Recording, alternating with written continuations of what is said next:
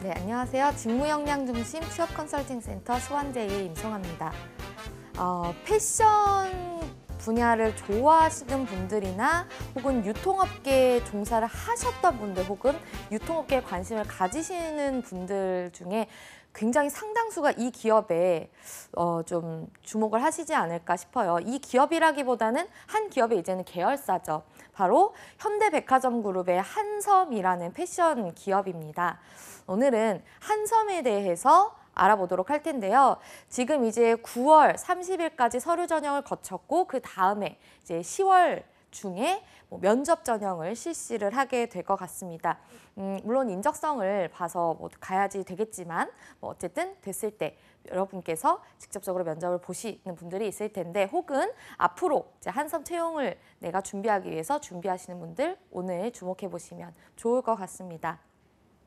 대기업 뭐 보통 봤을 때 대기업 기준으로 연봉이 그렇게 높다라고 볼 수는 없을 수 있지만 패션 기업에서는 거의 top 3 안에 드는 연봉입니다. 뭐 삼성물산 뭐잘 아실 테고 그 뒤로 거의 뭐 이랜드나 한섬이 바로 뒤쫓아오는 연봉이라고 볼 수가 있어요.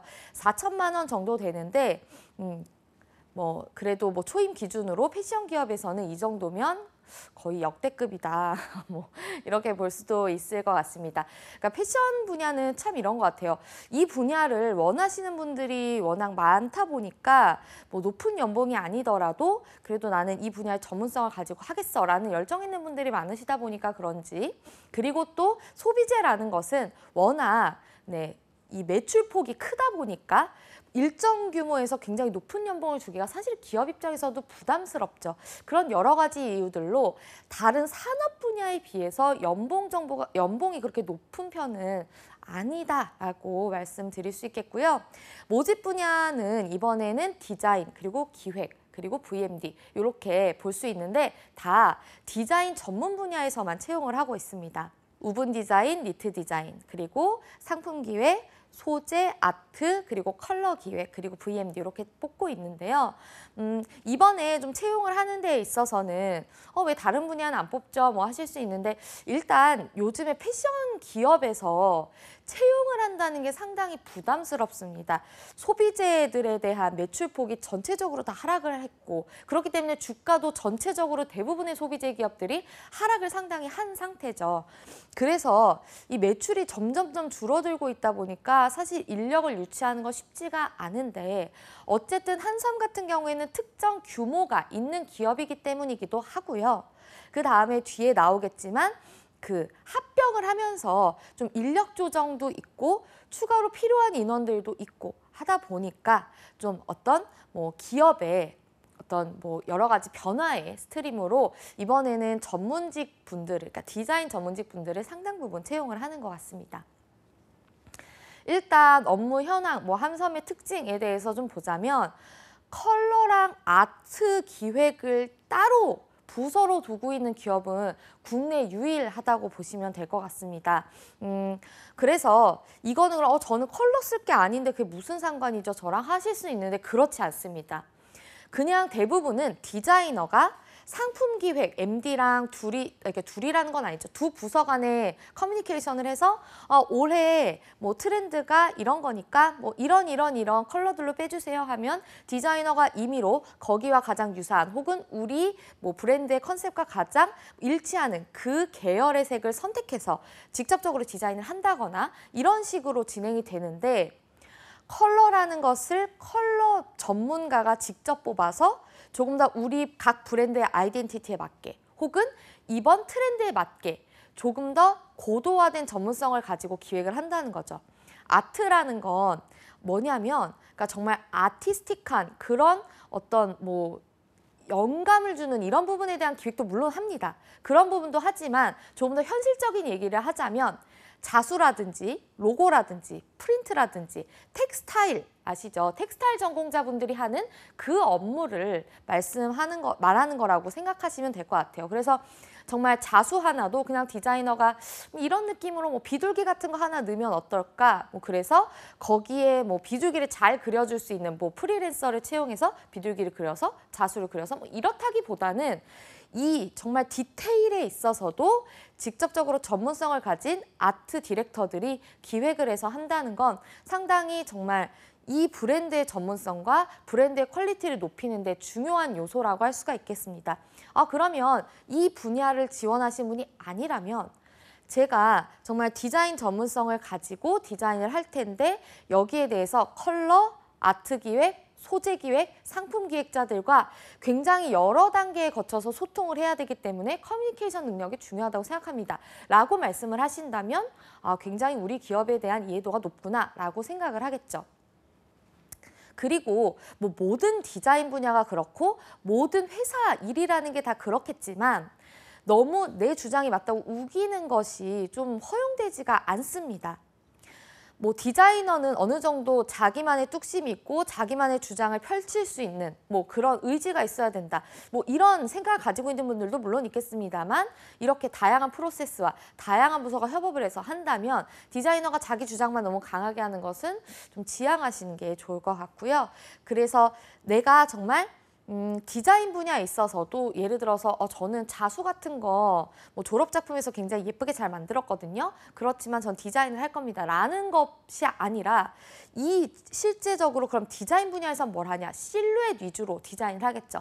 예를 들면 다트를 넣을 것인가? 뭐 아니면 프린세스 라인을 넣을 것인가? 뭐 등등 이렇게 정말 실루엣이라든지 뭐 그런 정말 디자인적인 아웃핏적인 부분들에 대한 디자인을 조금 더 전문성 전문적으로 하실 수가 있겠죠. 그래서 각 직무별로 전문화되고 고도화된 인재로 내가 굉장히 발전할 수 있는 기회도 있지만 특정 분야에 대해서 집중해서 업무를 할 수 있는 분위기와 환경도 조성되어 있다라는 것들을 기억해 주시면 기억해 주시면 좋을 것 같고 그리고 최근에 악세사리 파트를 굉장히 강화하고 있습니다. 뭐 데케 뭐 이런 뭐 가방 브랜드 굉장히 잘 되고 있는데 뭐 그런 정말 가방 브랜드를 정말 강화하는 것도 물론 있겠지만 각 브랜드에서 예를 들면 휴대폰 케이스를 낸다라든지 아니면 리빙 제품을 강화해서 낸다라든지 스카프를 강화한다든지 뭐 구두를 추가적으로 낸다라든지 이런 액세서리를 다양하게 강화를 하고 있습니다. 사실 한섬에 있는 브랜드들은 옷 자체에 대한 스타일은 굉장히 많고 옷 자체에 대한 디자인 디테일은 굉장히 강할 수 있는데 액세서리군이 그렇게 다양한 브랜드는 아니었는데 그런 것들을 많이 강화를 하고 있다라는 거죠.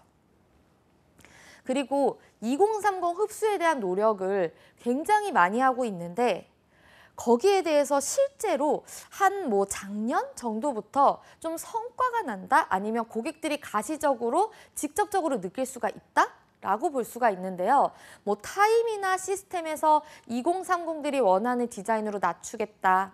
혹은 그렇게 낮추면 기존 고객들이 잃게 되기 때문에 낮추지 않겠다. 이런 논란이 있었거나 혹은 결국에는 젊은 층들을 타깃으로 한 디자인을 했으나 이게 그닥 전문층, 젊은 층을 공략하는 거라기보다 기존 층에게 더 가까운 디자인이었다거나 이런 시행착오들이 굉장히 많았는데 실제로 예전, 그러니까 예전 타임이나 뭐 예전 한섬 브랜드들을 모르시는 분들은 뭐 googling을 하시거나 네이버에서 검색을 하셔서 한번 찾아보시면 정말 다르다는 걸 느끼실 수가 있을 거예요. 타임 같은 경우에 굉장히 캐주얼화가 됐고요.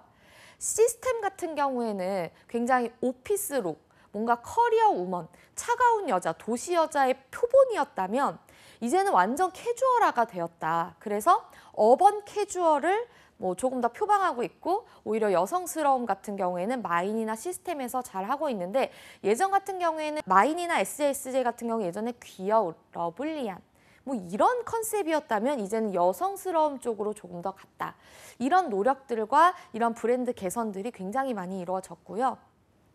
그리고 2030을 타깃으로 한 IT 분야에 대한 뭐 예를 들면은 뭐 한섬 뭐 자체 뭐 자사 사이트를 강화를 한다라든지 이런 노력들도 굉장히 많이 하고 있습니다. 콜라보레이션도 마찬가지고요.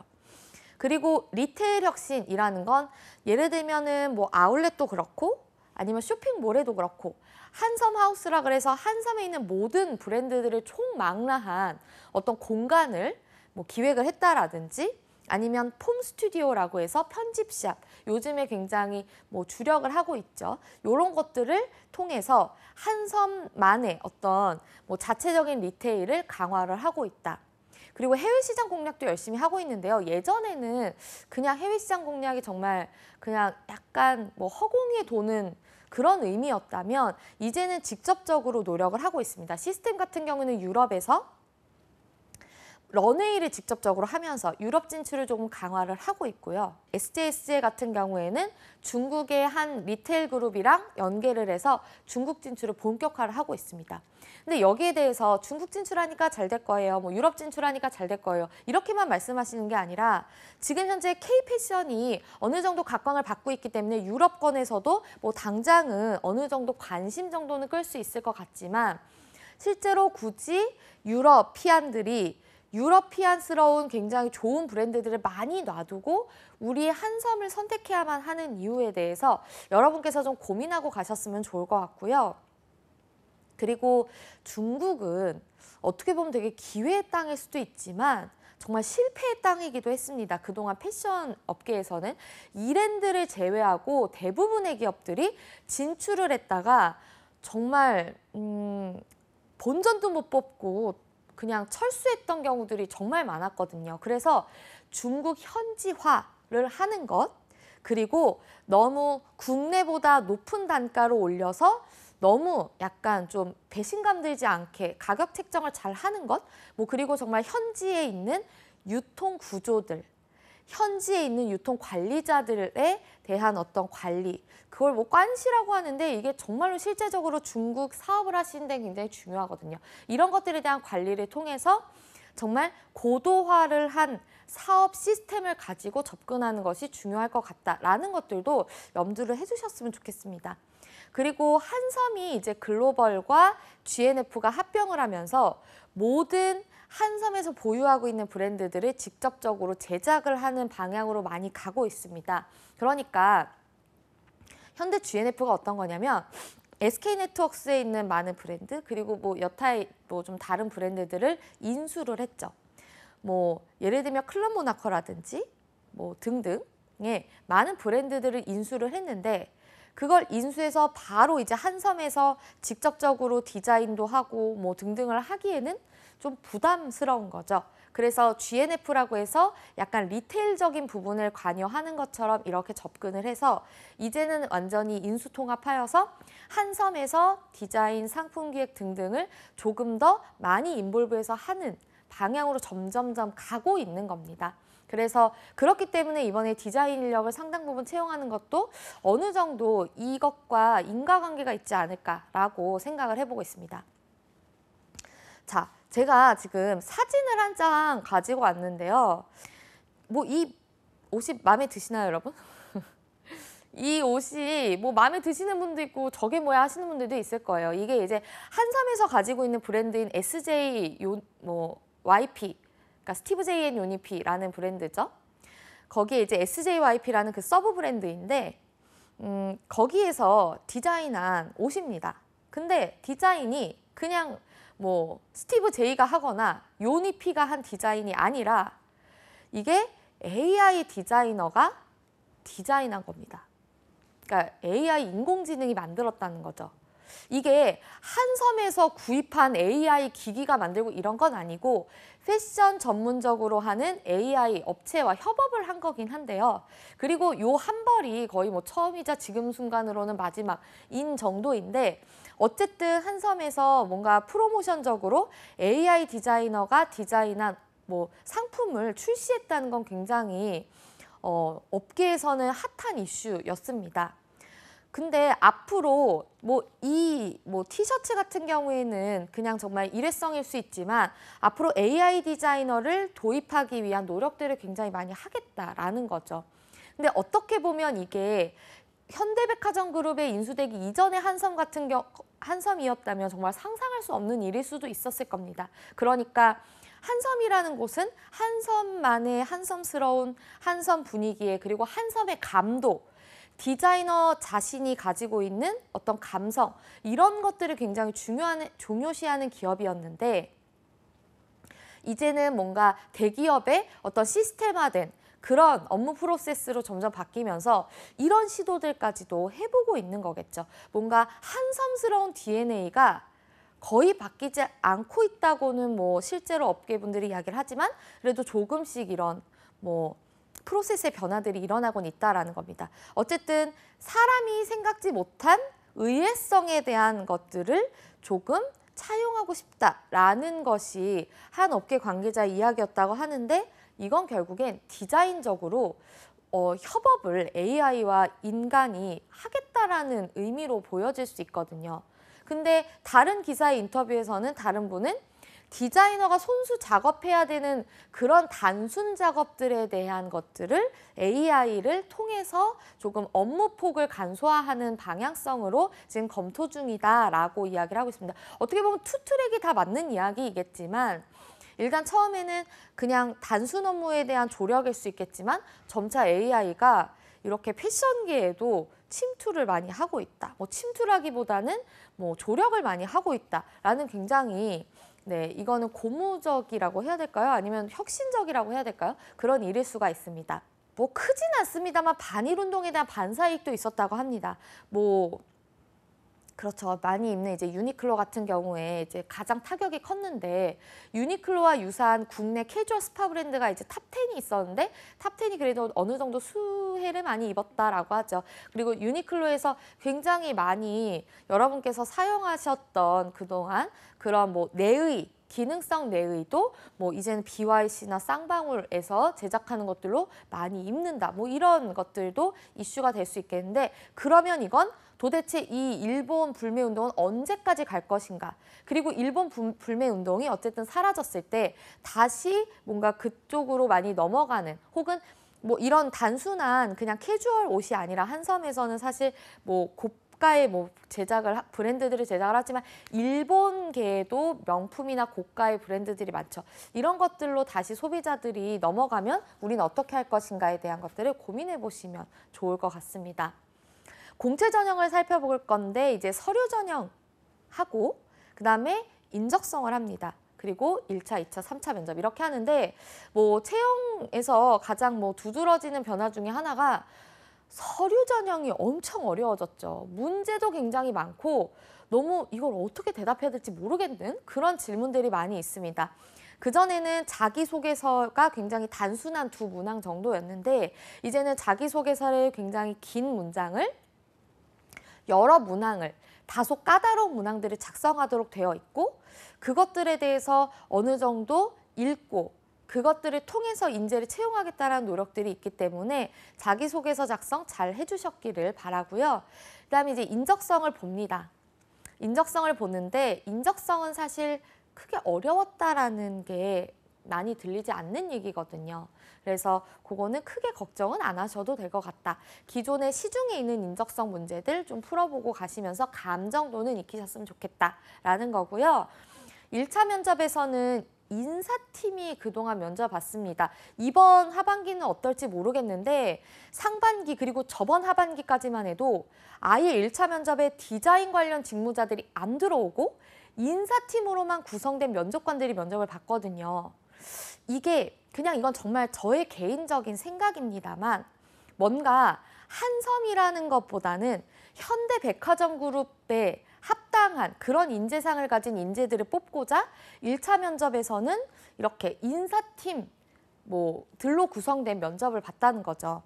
그러면 여기서 제일 중요한 것은 물론 직무적인 전문성을 보여주시는 건 좋지만 너무 직무 전공자들만 아는 단어들을 위주로 언급하시면 채점이 어려울 수가 있습니다. 이 사람이 관련, 과연 훌륭한 인재인지 아닌지. 그래서 여러분께서 일차 면접에서만큼은 너무 디자인적인 디테일한 부분. 아, 저는 뭐 예를 들면은 보통 여성스러운 페미니즘을 추구하는데 저는 뭐 어번 페밀리, 페미니즘 추구하고 이런 단어들보다는 조금 더 아, 저는 굉장히 창의적입니다. 라든지 저는 적극적입니다. 라든지 그렇지만 뭐 거기에 대한 에피소드는 직무 유관으로 네, 뿌려주신다든지 이런 식으로 좀 인사팀을 염두한 그런 면접 답변들을 준비하시면 좋을 것 같고요. 그리고 어, 한섬 면접 볼 때 한섬 옷 입어야 되나요? 이런 고민들 많이 하시는데 1차 면접에서는 한섬 옷 입었는데 그걸 모르실 수가 있어요. 그렇기 때문에 1차 면접에서는 그런 부담감을 조금 덜어주셔도 되겠다. 하지만 이건 제가 개인적으로 추천드리는 것은 한섬 같은 경우에는 정말 이 검은 정장에 검은 치마에 흰색 이런 것들보다는 좀 더 세련된 비즈니스 캐주얼, 나의 개성과 나의 세련됨을 보여줄 수 있는 나만의 코디네이션을 하고 가시기를 추천드립니다. 그런데 그 코디네이션도 내가 지원하는 브랜드의 방향성과 맞으면 더 좋겠죠. 그렇다면 다소 캐주얼한 그런 뭐 폼 스튜디오라든지 이런 데 면접을 보실 때는 너무 캐주얼하면 안 되겠지만 너무 고루하거나 클래식한 느낌은 피해 주셨으면 좋겠다. 이렇게 말씀을 드리고요. 이제 2차 면접에서는 과제를 시행을 합니다. 그래서 과제 위주로 평가가 된다든지 포트폴리오를 이제부터 중점적으로 보기 시작하는 거죠.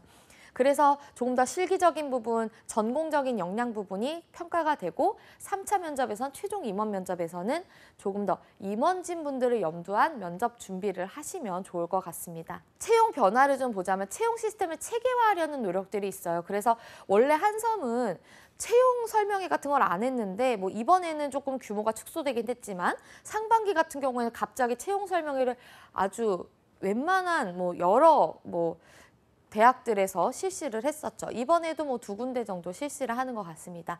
음, 그리고 1차 인사팀 면접이라는 거 요것들을 좀 염두에 두시고 거기에 맞춰서 준비를 하시면 좋을 것 같고요. 그 다음에 과제가 그 상반기 같은 경우에는 과제를 해오세요가 아니라 당일에 실기 면접을 받습니다. 예를 들면 뭐 2019 SS 컬러 트렌드에 대해서 뭐 그 트렌드에 맞는 뭐 예를 들면 뭐 착장을 좀 그려보세요. 이런 것들이 많이 나왔었는데 그런 식으로 조금 실기시험으로 변경됐다는 걸 좀 염두에 두시면 좋을 것 같고요.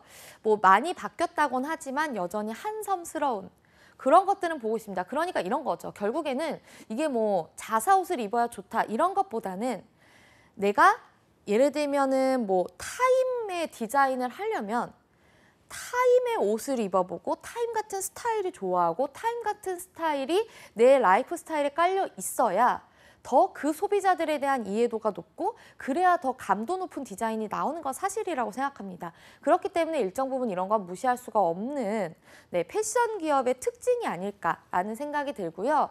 간략하게 전문 직무들 한번 보겠습니다. 디자인은 woven이랑 니트가 있죠. 근데 니트 같은 경우에는 어, 저 뜨개질 되게 잘해요. 이렇게 지원하신다기보다 졸업작품 포트폴리오 정도만이라도 니트로 꼭 하신 분들이 지원을 하셨으면 좋겠어요. 정말 니트 하고 싶으신 분들은 니트만 정말 열심히 하신 분들이 많이 있거든요. 그런 거 참고하시고요. 음, 디자인 같은 경우에 직접 QC를 봅니다. 그렇기 때문에 커뮤니케이션 능력 너무 중요하고요. 샘플 작업, 품평회, 뭐 작업 지시서 작성, 뭐 제품 리뷰 하는 것들은 다 아시겠죠? 기획 분야 보겠습니다. 상품 기획 같은 경우에는 시즌 트렌드 분석해서 방향성을 제시해서 품평을 참여를 하죠. 근데 어쨌든 디자이너들이 만든 걸 평가하는 직무이기 때문에 네, 때로는 조금 직설적이라든지 조금 때로는 거절을 좀 할 줄 아는 분들이 지원을 하셔야 돼요. 그런데 아, 협업하는 회사니까 어, 전 거절 잘 못한다를 단점으로 해야겠어요. 이러면 좀 곤란하실 수가 있어요. 아, 이 부분이 조금 부족한 것 같은데 수정했으면 좋겠어요라고 어떻게 보면 같이 얘기할 수 있어야 되기 때문이고요. 그 다음에 상품 기획 같은 경우에는 숫자적인 부분이 너무 중요합니다. 그냥 트렌드를 잘 읽어요만으로는 절대 안 되죠. 그러니까 생산량, 가격 결정 이런 걸 할 수 있는 그런 숫자적인 감각이 있는 분들이 하셨으면 좋겠고요. 생산 스케줄 관리, 판매 분석까지 합니다. 그렇기 때문에 아 저는 너무 업무가 꼼꼼하다 보니까 다소 일처리가 느려요. 이런 분들은 무계획적인 분들이라고 평가받아서 점수가 깎일 수가 있어요. 소재 같은 경우에는 소재 분야를 좀 정말 잘 아시는 분들이 지원을 하셨으면 좋겠고 소재 분야는 정말 섬유 디자인 분야에 있는 분들이랑 같이 경쟁을 해야 된다. 마찬가지로 소재도 QC를 직접 보고 심지어 단가 조정이나 입출고 관리까지 내가 직접 합니다. 그래서 그런 controlling이 좀 가능하셨으면 좋겠어요. 그러니까 좀 영업적인 마인드라든지 아니면 조율을 잘 하는 분들 이런 분들이 소재 기획에 좀 있었으면 하는 역량이고 컬러 기획 같은 경우에는 뭐 시즌 트렌드 분석해서 컬러 기획해서 소재 컬러 발주하는 건데 그렇기 때문에 소재에 이 컬러가 배는지 안 배는지 어떻게 해야 배는지 이런 메커니즘은 알고 계셔야 합니다. 그래서 컬러 하시는 분들은 소재에 대한 이해도 반드시 같이 언급을 해주셔야 되고 또 헷갈리실 수 있는 게 팬톤 컬러 많이 아시죠? 시즌 트렌드 컬러. 이 컬러와 패션 컬러는 좀 다를 수가 있습니다. 그래서 어, 올해 트렌드는 이번 팬톤에서 발표한 컬러가 이런 건데요 하시면 조금 약간 네, 안 맞는 부분이 있을 수 있고 아트 기획은 시즌 트렌드 분석을 아트적인 부분으로 또 하지만 textile, 그러니까 프린트, 로고, 자수, 라벨 이런 것들에 대한 거를 직접 제작해야 되기 때문에 그런 분야에 대한 관심이 많다. 이런 것들을 같이 어필을 해주시는 게 중요할 것 같습니다. VMD는 이 매장 디스플레이도 하고 윈도우 시안도 당연히 하는 거 아시겠지만 거기에 마찬가지로 부자재 디자인 작업을 한다든지 발주를 한다든지 코디북 제작도 합니다. 그렇기 때문에 좀 시각 디자인적인 역량 있는 분들 그리고 어느 정도 부자재에 대한 이해가 있는 분들도 선호하기 때문에 그런 역량이 있으신 분들은 좀 어필을 해주시면 좋을 것 같습니다. 뭐 한섬 같은 경우에는 정말 많은 분들이 가시고 싶어 하실 거예요. 그래서 또 지원도 굉장히 많이 해주시는데 음, 한섬은 제가 정말 많은 분들의 컨설팅을 해봤지만 조금 이 점은 있는 것 같아요. 조금 나이 제한이 좀 명확하다.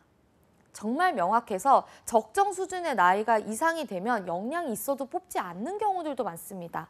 그래서 어, 그런 분들 같은 경우에는 조금 이제 내가 너무 나의 체력을 소비하는 것보다는 내가 경력직으로 가야지 내가 나만의 전문성을 쌓아야지 하시는 것도 방법일 것 같아요. 그러니까 한 섬만을 위해서 한 섬을 정말 말 그대로 뭐 취업 재수, 취업 삼수 이렇게 하시면 조금 점점 합격률이 떨어질 수가 있기 때문에 그런 것들을 좀 유념하시면 좋을 것 같고요. 뭐 프로세스가 변화하고 있기는 하다고 하지만 여전히 조금 더 감도 있는 한섬스러운 라이프 스타일을 가진 한섬이 하는 디자인적인 의상들을 착장하는 그런 분들을 선호를 합니다. 그래서 내가 꼭 고가의 옷을 입지는 않더라도 좋아하는 브랜드 뭐예요? 좋아하는 디자이너 뭐예요? 라고 했을 때 그 감도가 한섬에서 추구하고자 하는 방향과 많이 일치하는 그런 것들을 어필을 해주셨으면 좋겠습니다. 한섬 같은 경우에는 제가 계속적으로 감도나 감성을 많이 말씀드렸는데 정말 이 브랜드 그리고 이 브랜드의 이번 매장 컨셉 이런 것들에 대한 이해도를 굉장히 많이 봅니다. 그래서 매장 방문 너무 필수적이고요. 경쟁사의 분석 그리고 한섬에 대한 스타일링에 대한 분석을 꼼꼼하게 하시기를 바라겠습니다.